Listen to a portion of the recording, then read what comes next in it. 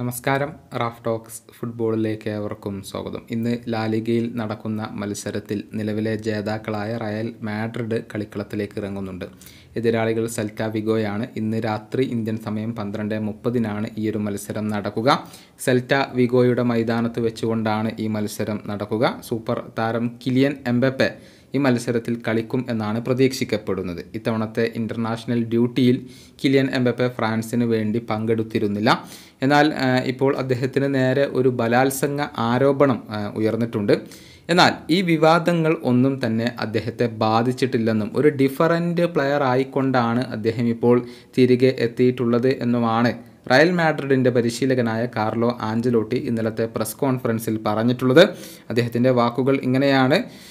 Kylian എംബപ്പയ്ക്ക് കുറച്ച് അവധി ദിവസങ്ങൾ നൽകിയിരുന്നു. ആ സമയത്ത് അദ്ദേഹത്തിന് ഇഷ്ടമുള്ള കാര്യങ്ങൾ ചെയ്യാം.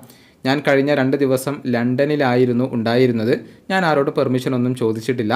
ഞാൻ താരങ്ങളുമായി എല്ലാ ദിവസവും സംസാരിക്കാറുണ്ട്. അദ്ദേഹത്തെക്കുറിച്ച് ഒരുപാട് ഊഹാപോഹങ്ങൾ പ്രചരിക്കുന്നുണ്ട്. എന്നാൽ അതൊന്നും അദ്ദേഹത്തെ ബാധിച്ചിട്ടില്ല. ഒരു ഡിഫറന്റ് താരമായി കൊണ്ടാണ് അദ്ദേഹം മടങ്ങിയെത്തിയിട്ടുള്ളത്. ടീമിനെ വളരെയധികം കോൺട്രിബ്യൂട്ട് ചെയ്യാൻ അദ്ദേഹം ഒരുക്കമാണ്. ഈ ഒരു ബ്രേക്കിന്റെ അഡ്വാന്റേജ് അദ്ദേഹം മുതലെടുക്കേണ്ടതുണ്ട്. നിലവിൽ കിലിയൻ എംബപ്പെ ഹാപ്പിയാണ് ഈ പതിനഞ്ച് ദിവസം അദ്ദേഹത്തെ ഒരുപാട് സഹായിച്ചിട്ടുണ്ട്. ഇപ്പോൾ ഒരു ഡിഫറന്റ് താരമായി അദ്ദേഹം മാറിയിട്ടുണ്ട്.